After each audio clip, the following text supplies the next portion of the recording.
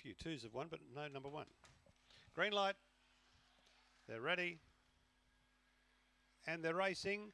Iron Bar Ricky begins only fairly. Lion Eagle bounded out to the early lead. Lethal Kid went to second and Rapid Explosion next, followed by Iron Bar Ricky with work to do.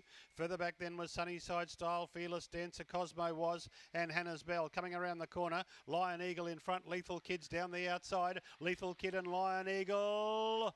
Lethal Kid, I think, a half head to uh, Lion Eagle. Third then went to um, well, who was third? Not sure. Um, Rapid Explosion and also Iron Bar Ricky. Cosmo was just back behind those. Hannah's Bell with Sunnyside Style. Pardon me.